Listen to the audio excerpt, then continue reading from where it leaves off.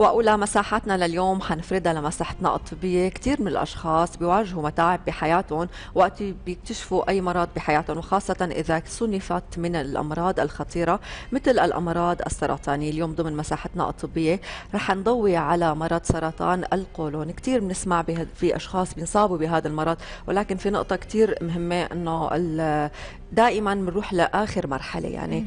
تم وصفه بالمرض الصامت وخاصة هذا المرض بيؤدي للموت إذا لم يتم معالجته من البداية. اليوم رح نتعرف على أسباب هذا المرض. الأعراض مع ضيفنا لليوم الدكتور نذير إبراهيم وهو اختصاص في الأمراض الهضمية. يسعد صباحك حكيم وأهلا وسهلا بحضرتك. يا هلا. يسعد صباحك دكتور واهلا وسهلا فيك. كثير من الأشخاص نسمع مصابين بمرض القولون بشكل عام وليس السرطان. خلينا نحكي أول شيء نعرف هيك ولو سريعا بالمرض ونسأل حضرتك ممكن آه، يتطور لا سمح الله لموضوع السرطان؟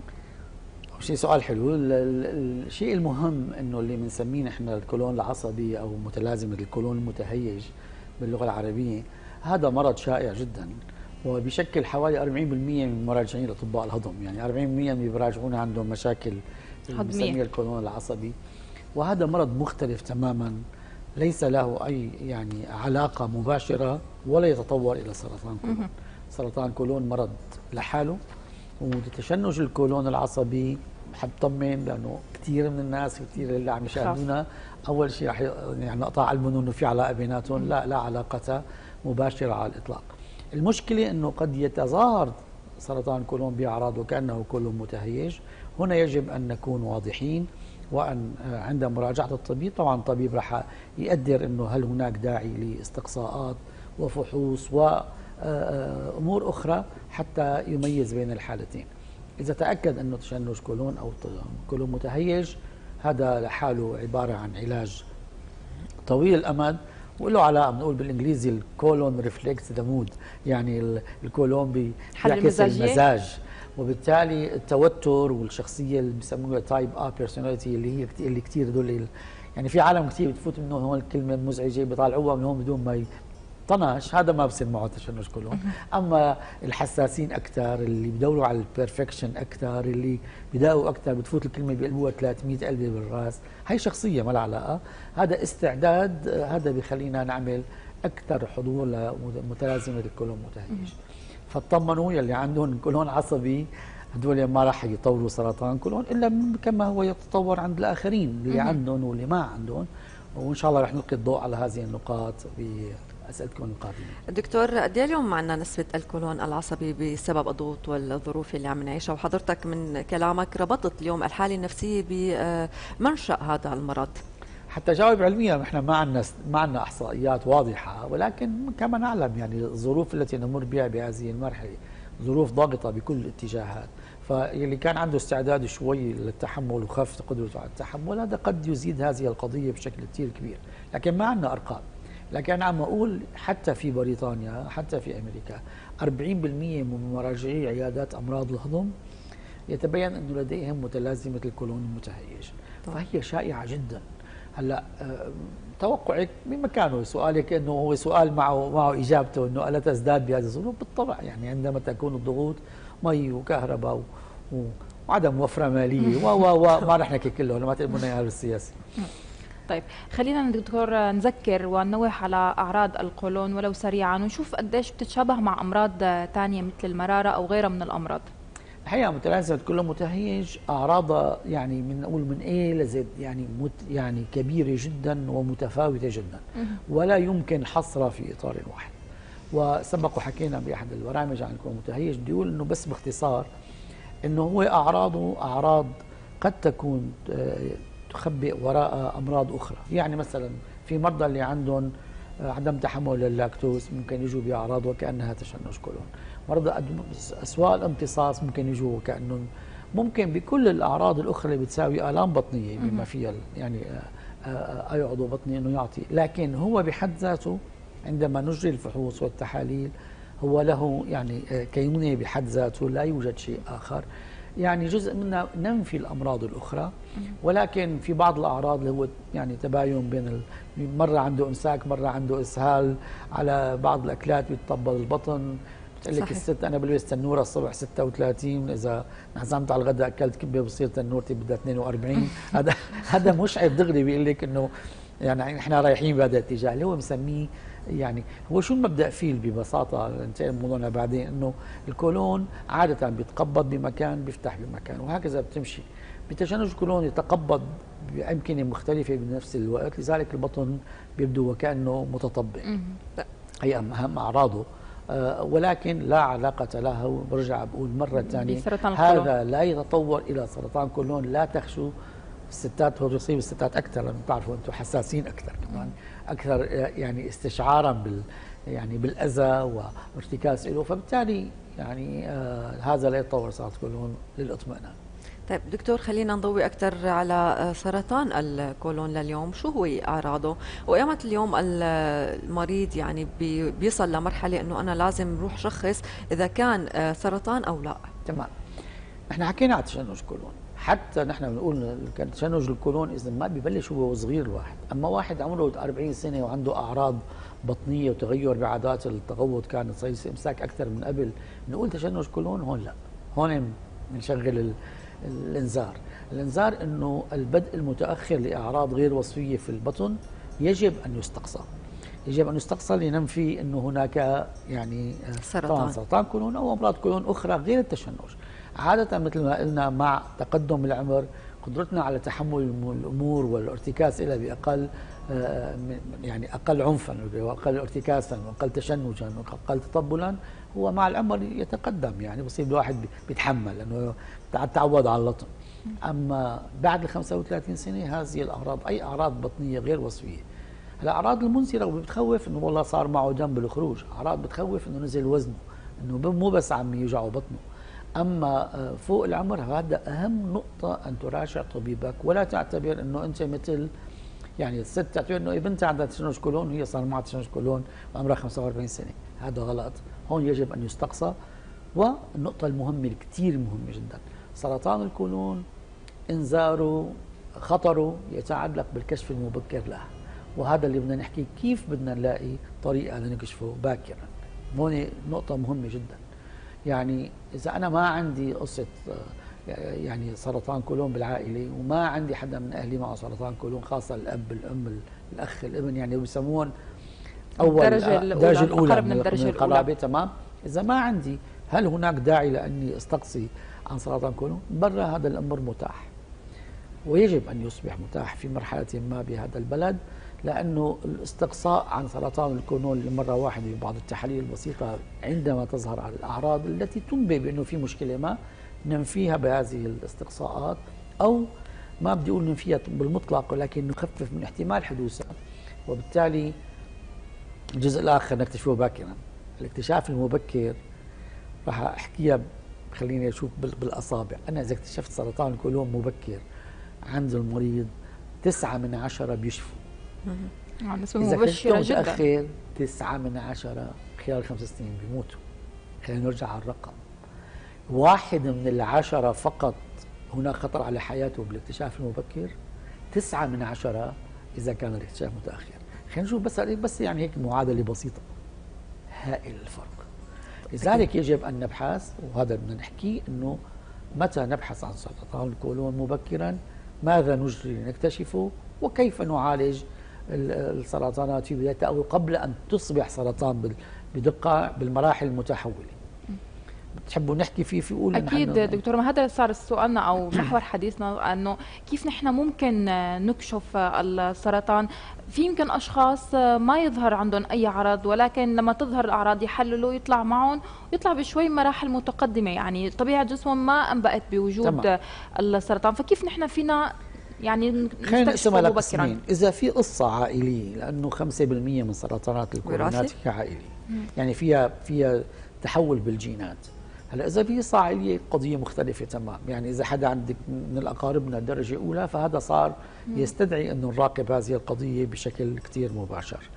إذا في أعراض منبئة بأنه هذه الأعراض ليست عبارة عن مرض بسيط يعني مثل ما قلنا نقص الوزن فقر الدم الدم الخفي بالبراز الإيجابية إيجابية هذا الفحص هذا بخلينا نقول روح نعمل تنظير كولون. أو إذا ما عندنا إمكانية تنظير كولون وهو التنظير الكولون هو رقم واحد في الكشف المبكر. ولكنه يعني دونه عدة عقبات. واحد منه هي الكلفة. واحد منه هو التحضير. واحد منه هو القلق. يعني إنه والله بده يأخذ مسهل وبده يعمل. ويعني في إجراءات. هناك تحاليل أخرى يعني تم اعتمادها عالميا. كثير بسيطة. هو تحري الدم الخفيف بالبراز. بطريقتين. الطريقة القديمة بنعمل ثلاث نماذج. طريقة جديدة هي FIT بنسميها. عباره عن نموذج واحد. هذا بينقص الوفيات من سرطان الكولون بالمجتمع 33% ليش؟ لأنه نكشفه باكرا الكشف المبكر بيخلينا نعالج بشكل مبكر نعمل العلاج كثير له كثير بسيط ما معقد. ما في داعي في معظم الحالات لعلاجات جهازية وشعاعية و chemotherapy. فبالتالي إذا استخدمناه مبكرا بالمراحل اللي تحول فيها. معظم سرطانات الكولون تنشأ على قاعدة بنسميها ال polyp. polyp يعني مثل التالوله تالوله صغيرة بتجي بالكولون هلا جزء منها اللي بنسميه اللي له بنية غدية adenoma هذا إذا كبر فوق السنتي بصير بيتحول لسرطان. سرطان. لكن للمرضى اللي هلا عم يسمعونا وعاملين بوليبات هذا ال polyp لحتى يتحول لسرطان بياخذ إذا كان يعني حجمه أقل من سنتي بياخذ 10 سنين. يعني مو بكرة رح يصير معك إذا نظرت من شهر وطلع معك polyp أعطي لك موعد للتنظير لتشيله بعد فترة لا تقلق لأنه بياخذ أما إذا كان ال polyp كبير فسرعه فيه أكبر.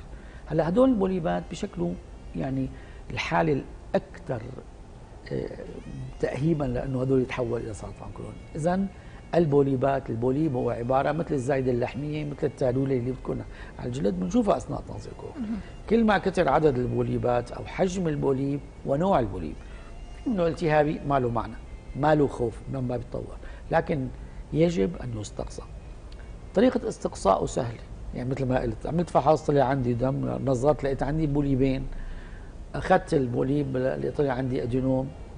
أكيد بدي أرجع انظر بعد كم سنة حسب درجة التحول بهذا هناك يعني قواعد عالمية متفق عليها. هلا قد لا تكون يعني متفق عليها كثيرا عنا لأنه في آراء مختلفة فيها لأنه ما عندنا يعني ناظم واحد لهذه القضية. ولكن علميا نحن بجامعة أمراض الهضم حاولنا نعمل حاولنا نعرف ليش عندنا سرطان كولون. بفتره من فترات عملنا مرتين دراسه وما زبطت معنا لأنه بدها حتى نعرف قديش سرطان كولون يختلف من مجتمع إلى آخر. يعني مو عندنا نفس النسبة. عالميا اعطيك مثال. سرطان كولون ثالث سرطان انتشارا بدول الغرب. يعني إذا تعدي سرطانات أول واحد كذا الثاني الثالث هو سرطان كولون. عند النساء وعند الرجال. يعني بالمن السبب شو هو؟ نوع الأكل؟ ف... فنحن هلا بنحكي على إنه هذا واحد منه واحد منهم جيتي على الوتر يعني نحن بنحكي كثير بالأكل بيأثر بال... إذا بدنا نحكي في أكل بيأثر بإنه ينتج أمراض أكثر شيء هو الكولون. وعليه نقاش طويل وطويل جدا. يعني مثلا بما إنك حكيتي فيه إنه إذا اللحم المشوي اللحم اللي سواء بالجريل واللي على الفحم هذا بيطلع مواد مسرطنه أكثر تناوله بكثرة هذا ممكن يزيدها. اللي عندهم overweight مين ما كان يعني obese زيادة يعني ملاحظ إنه بصير عندهم سرطان كولون أكثر من غيرهم يعني بمعنى آخر هلأ مرضى السكري قد يزداد عندهم وهو أهم إنه بيزداد عندهم مخاطر العلاج تبعه لأنه السكري له مشاكل أخرى. فإذا ما عدا العائلي العائلي صديقتي العزيزة في مرض عائلي اسمه داء البوليبات العائلي. هو 1% من سرطان كولون بس قبل 40 سنة تقريبا 100% من المصابين بداء البوليبات يعني يكون عنده بالكولون 100 polyp 1000 polyp 100% بيتصرفوا 100% لذلك كثير منهم بنشيلهم الكولون قبل ما يصيروا بال 40 سنة. وأكيد يعني أنا آه عندي عائلة مقربة لي جدا على المستوى الشخصي يعني متابعهم عندهم صبية منهم. يعني هذا مسألة هو نادر. ولكن إذا في قصة فما عاد في تقولي والله بننظر اختها بننظر أخوها ما بنعمل لأنه قضية 100% يتحول إلى سرطان. هلأ المرض الثاني اللي هو ما في بوليبات 4% الباقي كلهم ما في ما في غير إنه بوليبات وتصير وبتعمل سرطانات. النسبة الأعظم منهم. طيب دكتور خلينا نوصف الحالة بشكل دقيق. كونه اليوم عم نحكي عن مرض كتير مهم وهو شائع مبدئيا ككولون عصبي. آه، نفخة بيعمل قصص كتير بشكل الجسم ومثل ما قلت نحن دائما بعاداتنا الصحية بنأثر ونتأثر فيه دائما. خلينا نحكي عن علاقته بالأمعاء والمعدة. هلا سرطان الكولون تحديدا وليس تشنج الكولون. آه، في جزء منه بيعمل أورام خارج الكولون. تناذرات قليلة. ما بدي أشغل المشاهدين فيها لأنه هي كثير قليلة نسبتها. لكن اللي بدي أقوله إنه أعراض اللي المنذره لسرطان الكولون برجع بعيدها للمرة الثانية. إنه أنا لما عندي أعراض بلشت وكأنه آلام بطنية تشبه تشنج كولون أو مشاكل كولونيه أو انتانات هدول آه، بعد ال 35 سنة لازم تؤخذ بجدية وننفيها. المرضى اللي عندهم داء كرون اللي عندهم التهاب كولون قرحي ومشخص هدول يزداد عندهم نسبة سرطان الكولون فما فيني أفترض السلامة بالأعراض الجديدة وإنه كأنه ما في شيء. هون بناخذها أكثر جدية.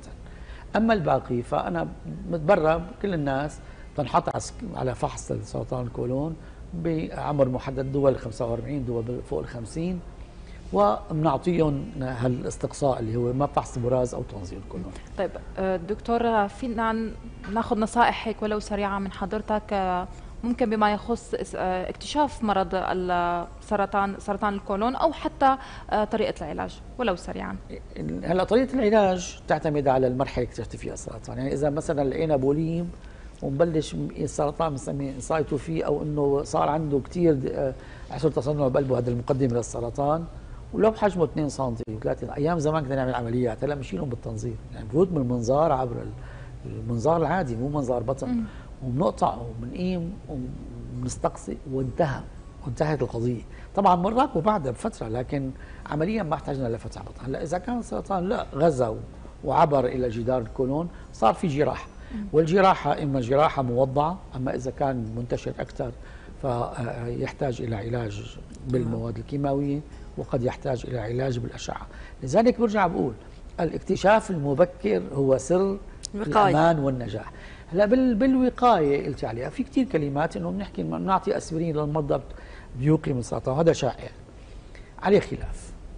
إلا بالتناذرات الوراثية خاصة اللي ما فيها بوليبات ممكن الأسبرين يكون كثير مفيد.